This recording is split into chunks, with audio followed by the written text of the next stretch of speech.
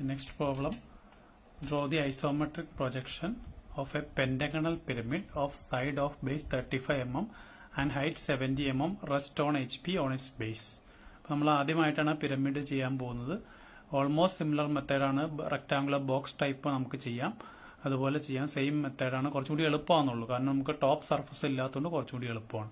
അപ്പോൾ ഏതാണെങ്കിലും നമ്മൾ ആദ്യം അതിന്റെ ഫ്രണ്ട് വ്യൂ ടോപ്പ് വ്യൂ വരച്ചു. പിരമിഡിന്റെ പെന്റാണൽ പിരമിഡാണ് പെന്റാണൽ പിരമിഡിന്റെ ഫ്രണ്ട് വ്യൂ ടോപ്പ് വ്യൂ വരച്ചു. അപ്പോൾ പ്രത്യേകിച്ച് കണ്ടീഷൻസ് ഒന്നും തന്നിട്ടില്ലെങ്കിൽ ഒരു side perpendicular to V P ആയിട്ട് എടുത്ത് ചെയ്തോ. ഇത് പെർപെൻഡിക്കുലർ ടു വി പി ആയിട്ട് ചെയ്യും. കാരണം നമുക്ക് ഐസോമെട്രിക് പ്രൊജക്ഷൻ അല്ലെങ്കിൽ ത്രീ ഡി വരയ്ക്കുമ്പോൾ കുറച്ചുകൂടി നല്ല ഭംഗിയായിട്ട് അതിന്റെ ത്രീ ഡി ഇമേജ് കിട്ടാൻ വേണ്ടി നമുക്ക് ഇത് ഈ സൈഡ് എ ഇ എന്നുള്ള side perpendicular to V P ആയിട്ട് ഉള്ള കണ്ടീഷനിൽ നമുക്ക് വരയ്ക്കാം. പ്രത്യേകിച്ചൊന്നും പറഞ്ഞിട്ടില്ലെങ്കിൽ. ഓക്കെ അപ്പോൾ അതിന്റെ ഫ്രണ്ട് വ്യൂ ടോപ്പ് വ്യൂ വരച്ചു. അതിന്റെ ഒപ്പം തന്നെ ഐസോമെട്രിക് സ്കെയിൽ വരയ്ക്കാം. ഏറ്റവും മാക്സിമം ലെങ്ത് ഇതിൽ സെവന്റി ആണ്. സെവന്റി എടുത്തിട്ട് നമ്മൾ ഐസോമെട്രിക് സ്കെയിൽ വരച്ചു. ഐസോമെട്രിക് സ്കെയിൽ വരച്ചു. അതുപോലെ ബേസ് ലൈനും thirty degree thirty degree inclined ആയിട്ട് വരച്ചു വെക്കാം. അപ്പോൾ ഇത്രയും ബേസിക് ആയിട്ട് നമ്മൾ വരയ്ക്കാം. ഇനി അടുത്ത് എന്താ ചെയ്യുന്നത്? നമ്മൾ സാധാരണ യൂഷ്വൽ പ്രൊസീജിയർ എന്താ ചെയ്യുന്നത്? ഈ ടോപ്പ് വ്യൂവിനെ ഒരു റെക്ടാങ്കിളിലോ സ്ക്വയറിലോ എൻക്ലോസ് ചെയ്യും. ഇതിനെ ഒരു റെക്ടാങ്കിളിൽ എൻക്ലോസ് ചെയ്യും. അതാണ് ബേസിക് പ്രൊസീജിയർ എന്നിട്ട് ആ റെക്റ്റാങ്കുലർ പ്രസമാണ് നമ്മൾ വരയ്ക്കാൻ പോകുന്നത്. ഇതിനെ റെക്റ്റാങ്കിൾ എൻക്ലോസ് ചെയ്തിട്ട് ആ റെക്റ്റാങ്കുലർ പ്രസം നമ്മൾ വരയ്ക്കും. റെക്റ്റാങ്കിൾ എൻക്ലോസ് ചെയ്തു. ഈ പെന്റഗണൽ ടോപ്പ് വ്യൂവിനെ റെക്റ്റാങ്കിൾ എൻക്ലോസ് ചെയ്തു. ഇത് one two three four mark ചെയ്തു. ഞാൻ പറഞ്ഞത് എക്സ് ഡയറക്ഷൻ ഇത് എക്സ് ഡയറക്ഷൻ ഇത് വൈ ഡയറക്ഷൻ ഫ്രണ്ട് വ്യൂവിൽ വരുന്ന സെഡ് ഡയറക്ഷൻ അതുപോലെ തന്നെ ഇത് എക്സ് അപ്പോൾ അതുപോലെ എല്ലാ ഏത് ഫിഗർ ആണെങ്കിലും ഇത് എക്സ് ഇത് വൈ ഇത് സെഡ് അതിനുശേഷം മാർക്ക് ചെയ്തു ഇനി നമ്മൾ പതിവ് പോലെ വൺ ടു വൺ ടു ഇതിൽ മാർക്ക് ചെയ്തു. റെഡ്യൂസ് ചെയ്തു എല്ലാം വൺ ടു നമ്മൾ ഇതിൽ കൊണ്ടുവന്നിട്ട് റെഡ്യൂസ് ചെയ്യണം. എല്ലാം ഐസോമെട്രിക് സ്കെയിലിൽ വരച്ചിട്ട് റെഡ്യൂസ് ചെയ്തിട്ട് വേണം ഡയമെൻഷൻസ് എടുക്കുക അങ്ങനെ വരച്ചിട്ട് ആദ്യം വൺ ടു ത്രീ ഫോർ വരയ്ക്കാം. ഓക്കെ അപ്പോൾ one one two one two ആണ് X direction one two X direction one two ഇത് ഫോർ ഇത് 3 അത്രയും വരച്ചു. ഇതെല്ലാം നമ്മൾ ഇവിടെ നിന്നുള്ള ഡയമെൻഷൻസ് ഐസോമെട്രിക് സ്കെയിലിൽ വരച്ച് റെഡ്യൂസ് ചെയ്ത് ആണ് എല്ലാം എടുത്തിരിക്കുന്നത്. ഇനി ഇപ്പൊ ഇതിപ്പോ നമ്മൾ ബേസ് വരച്ചു. പിരമിഡിന്റെ ബേസ് വരച്ചു. ഇനി ഇതിന്റെ റെക്ടാങ്കുലർ ബോക്സ് അല്ലെങ്കിൽ ഒരു പ്രിസം പോലെ വരയ്ക്കണം.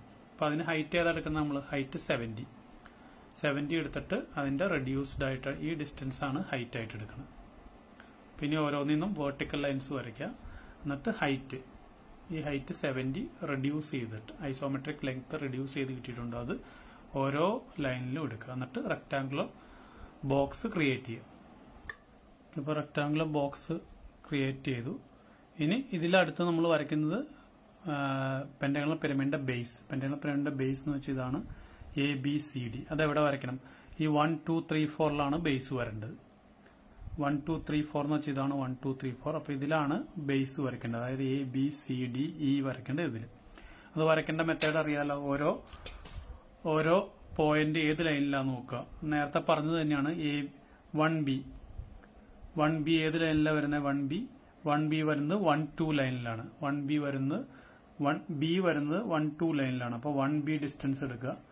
അതിനെ ഇതിൽ കൊണ്ടുപോവുക. ഇതിൽ കൊണ്ടുപോയിട്ട് ആർക്ക് വരച്ചുക അതിന്റെ റെഡ്യൂസ് ലൈൻ ഇവിടെ കിട്ടും. റെഡ്യൂസ് ലൈൻ കിട്ടും. അത് കോമ്പസിൽ എടുക്കുക. റെഡ്യൂസ് ലൈൻസ് ലൈൻ കോമ്പസിൽ എടുത്തിട്ട് ഏത് ലൈനിലാണ് മാർക്ക് ചെയ്യേണ്ടത്? ബി എവിടെയാ? ബി ഏത് ലൈനിലാണ് വൺ ടു ലൈനിൽ അപ്പോൾ വൺ ടു ലൈനിൽ അത് മാർക്ക് ചെയ്യാം. വൺ ടു ലൈനിൽ മാർക്ക് ചെയ്യാം.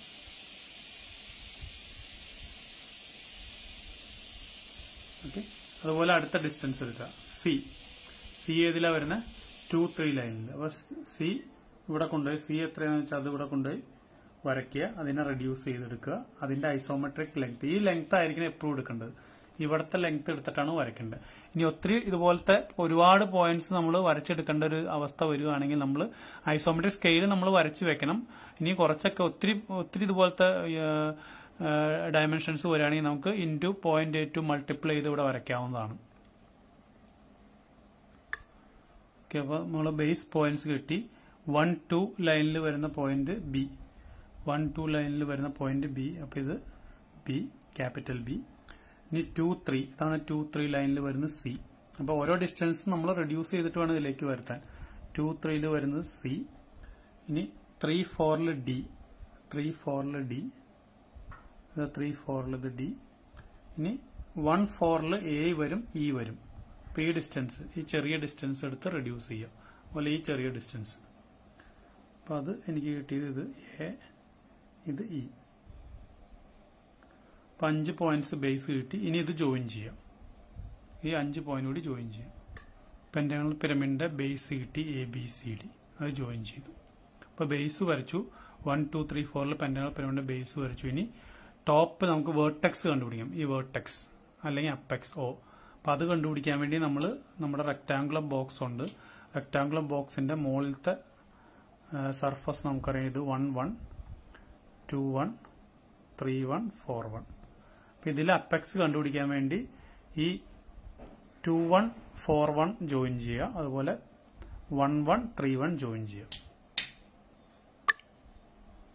One one three one join ചെയ്തു. Two one four one join ചെയ്തു. ഇത് രണ്ടും ഈ രണ്ട് ഡയഗണലിൽ മീറ്റ് ചെയ്യുന്ന പോയിന്റാണ് അപ്പെക്സ് അതാണ് ഓ ഈ പോയിന്റാണ് ഓ അപ്പോൾ നമുക്ക് എല്ലാ പോയിന്റ്സും കിട്ടി. ഇനി എന്താ ചെയ്യേണ്ടത് ഈ ഓയിൽ നിന്ന് എല്ലാ കോർ ബേസ് കോർണറിലേക്കും ലാറ്ററൽ എഡ്ജസ് വരയ്ക്കുക. ഓയിൽ നിന്ന് എല്ലാ കോർണറിലേക്കും ലാറ്ററൽ എഡ്ജസ് വരയ്ക്കും ഓക്കെ നമ്മൾ അപ്പെക്സ് കണ്ടുപിടിച്ച്. അപ്പെക്സ് കണ്ടുപിടിക്കാൻ വേണ്ടി ടോപ്പ് സർഫസിലെ ഡയഗണൽസ് വരച്ചിട്ട് അതിന്റെ ഇന്റർസെക്റ്റിംഗ് പോയിന്റ് കണ്ടുപിടിച്ച് അതിൽ നിന്ന് ബേസ് കോർണർ എല്ലാം ആയിട്ട് ജോയിൻ ചെയ്യും.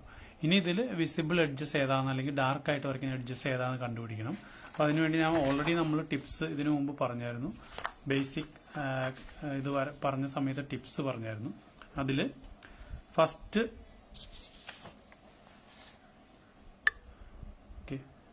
ഇതിൽ ഈ ഫസ്റ്റ് ടിപ്പ് വേണ്ട. കാരണം ടോപ്പ് സർഫസ് ഇല്ല. നമുക്ക് ടോപ്പ് ആൻഡ് ഫേസ് ഇല്ലാത്തതുകൊണ്ട് ഫസ്റ്റ് വേണ്ട. അപ്പോൾ ഫസ്റ്റ് കട്ട് ചെയ്ത് കളഞ്ഞേക്ക്. ഇത് പ്രിസത്തിന്റെയും സിലിണ്ടറിന്റെയും കേസിൽ മാത്രമാണ്. ടോപ്പ് സർഫസ് വിസിബിൾ ആണെന്ന് പറയുന്നത്. അപ്പോൾ ഇതിൽ പിരമിഡ് ആയതുകൊണ്ട് അല്ലെങ്കിൽ കോണാണെങ്കിൽ ടോപ്പ് സർഫസ് ഇല്ല. ബാക്കിയുള്ള ബാക്കിയുള്ള ടിപ്സ് നമുക്ക് യൂസ് ചെയ്യാം. അതായത് right extreme right and left edge lateral edges dark ചെയ്യാം അത് കഴിഞ്ഞിട്ട് ബേസ് ആ രണ്ട് എക്സ്ട്രീം ലാറ്ററൽ എഡ്ജസിന്റെ അകത്ത് വരുന്ന ബേസ് എഡ്ജസ് അല്ലെങ്കിൽ ഫ്രണ്ടിൽ വരുന്ന ബേസ് എഡ്ജസ് ഡാർക്ക് ആയിരിക്കും. പിന്നെ അടുത്ത് പറഞ്ഞിരിക്കുന്ന ആ ബേസ് എഡ്ജിൽ വരുന്ന ലാറ്ററൽ എഡ്ജസ് ആ നമ്മൾ വരച്ച ബേസ് എഡ്ജിൽ വരുന്ന ലാറ്ററൽ എഡ്ജസ് വിസിബിൾ ആയിരിക്കും. അപ്പൊ അത് വെച്ചിട്ട് നമുക്ക് ഇത് ചെയ്യാം. ഇതിൽ പറഞ്ഞിരിക്കുന്ന സെക്കൻഡ് ടിപ്പ് പറയുന്നത് ഏറ്റവും എക്സ്ട്രീം വരുന്ന റൈറ്റിലും ലെഫ്റ്റിലും വരുന്ന ലാറ്ററൽ എഡ്ജ് ഡാർക്ക് ആക്കുക. ഇത് left right lateral edge dark ചെയ്തു. ഇനി അടുത്ത ടിപ്പ് ഇത് സെക്കൻഡ് ടിപ്പ് തേർഡ് ടിപ്പ് അതിന്റെ അകത്ത് വരുന്ന രണ്ട് എക്സ്ട്രീം എഡ്ജസിന്റെ അകത്ത് വരുന്ന ബേസ് എഡ്ജസ് അതായത് ഫ്രണ്ടിൽ വരുന്ന ബേസ് എഡ്ജസ് അല്ലെങ്കിൽ ബേസ് ലൈനിന്റെ അടുത്ത് വരുന്ന ബേസ് എഡ്ജസ് ഡാർക്ക് ചെയ്യാം. ഡാർക്ക് ഇനി ലാസ്റ്റ് ടിപ്പ് എന്ന് പറഞ്ഞാൽ ഈ ഇപ്പൊ വരച്ച ബേസ് എഡ്ജസിൽ വരുന്ന ലാറ്ററൽ എഡ്ജസ് ഇതിൽ വരുന്ന ഈ ബേസ് ഡാർക്ക് ചെയ്ത ബേസ് എഡ്ജസിൽ വരുന്ന ലാറ്ററൽ എഡ്ജസ് ഡാർക്ക് ചെയ്യുക അപ്പോൾ ഓൾറെഡി നമുക്ക് ഇവിടെ നിന്നുള്ള ഡാർക്ക് ചെയ്തു ഇവിടെ നിന്ന് ഡാർക്ക് ചെയ്തു. ഇനി ഡാർക്ക് ചെയ്യാനുള്ള ഇത് മാത്രമേ ഉള്ളൂ. അപ്പോൾ ഇതും കൂടി ഡാർക്ക് ചെയ്തു. അപ്പോൾ ടിപ്സ് വെച്ചിട്ട് ഇത്രയാണ് വിസിബിൾ ആയിട്ടുള്ളത്. ഇനി ബാക്കി ഏതൊക്കെ എഡ്ജസ് ഉണ്ടോ അതെല്ലാം ഡോട്ടറിലെ അപ്പോൾ ടിപ്സ് വെച്ചിട്ട് ഡാർക്ക് കണ്ടുപിടിക്കുക പിന്നെ ബാക്കിയുള്ളതെല്ലാം ഡോട്ടറിലെ